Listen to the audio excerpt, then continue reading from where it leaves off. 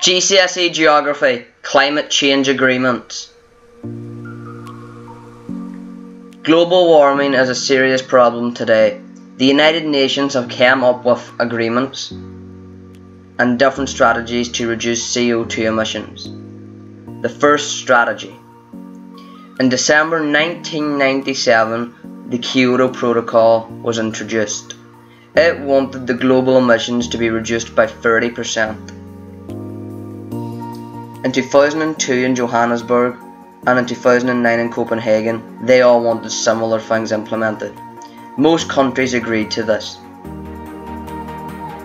The countries that did were paid money if they reduced their emissions, but were fined if they overproduced their emissions. The USA said no as they thought it would damage their economy. The second strategy Alternative energy resources. The British government wanted new, renewable energy to produce 20% of the electricity in the UK by 2020. This lowers CO2 emissions, but is expensive at the same time.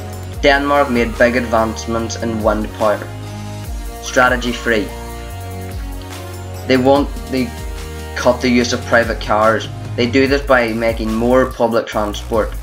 In London, they make people pay for being in the city in a car Cities also have carpool lanes so less cars are on the road.